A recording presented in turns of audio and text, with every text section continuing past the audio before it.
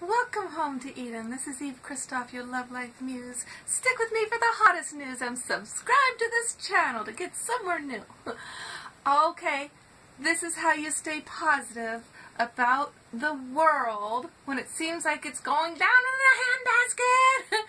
it's not as bad as you think. Okay, a guy says to my mom at her writing class, he goes, How come in the last 500 years no country has come upon or created a system that really takes care of its people. And this is an elder who's really very sophisticated guy in so many ways and a great writer, right? But we're so ignorant in this country of the way it is around the world that we think that our land is the is the biggest thing that's happened on the planet.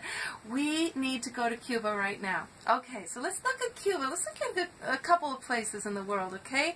First of all, your homework is to watch Michael Moore's movie, where to Invade Next, in which he goes around the world getting the best ideas from everyone, showing how amazing it is in other countries where socialistic democracy is actually in existence. So Cuba, Cuba, Cuba, Cuba.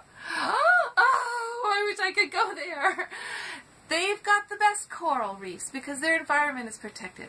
When they lost all of their oil from Russia, almost all, down to a tiny amount, they became geniuses at the transition. They went solar. They made gardens that were in their, their driveways, their rooftops, their flower boxes that were organic gardens. They got bicycles instead of cars. They, um, they have a health system that takes care of everybody. Lots of time for the arts and also support of the singing, the music, the dancing, right? Dancing in the street, the salsa! Oh my god. They have no billboards there. What else? Um, uh, so, this is just one country that has got so much more going for it. The highest literacy rate in all of Latin America is Cuba. Wow! They've got scientists and doctors to spare that they are sending all over the world.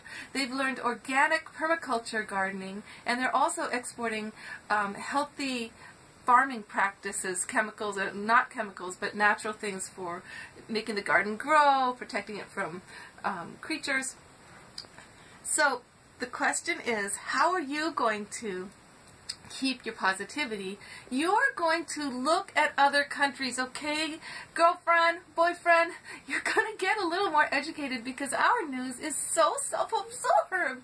It's all about the president and the celebrities and, and, and depressing, horrific things happening. And so then we think that, that, that this is just how bad it is and how corrupt. No, this is just how corrupt we are, how selfish we are as Americans. Let's learn from other countries, okay? Watch Michael Moore's movie, Where to Invade Next, and, and go invading and stealing, in, in American style, the best ideas to bring home. okay, much love, darling. Get the positive vibe going ah, let's go to Cuba. Let's go take it in. Of course, they probably hate Americans after all we put them through. Why would they allow us to go